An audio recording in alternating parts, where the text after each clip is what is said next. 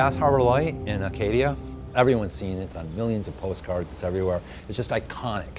But many people don't realize that it had this really sinister past and history. It starts with the building of the Bass Harbor Lighthouse. Um, when it was being built in the 1850s, there were a certain number of men working on it. One man was just had disappeared.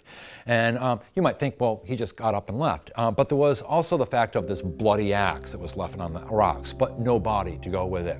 Legends quickly began that the body of one of the workers that was killed with the axe was sealed up into the, the lighthouse. So at that point in time, it's just legend. But what gives it, lends it some support was the fact that for almost a century, almost every lightkeeper that lived at Bass Harbor Light or their families came down with these unaccountable tragedies, sickness, death, accidents, one after the other would happen there. And it seemed like it finally ended when it became automated.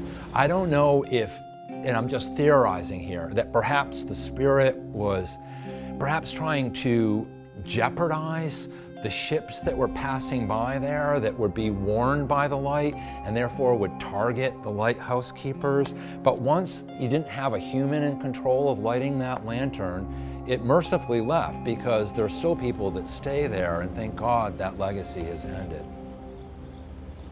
But people still see stuff out there. People have witnessed a lighthouse keeper out there, strange sounds and noises that are out there that are unaccountable um, as well. We've been to our share of haunted lighthouses in New England, and to me, the story's so similar because here you have this really boring and mundane job, but critical critical, right? Life depends on you doing this boring job again and again.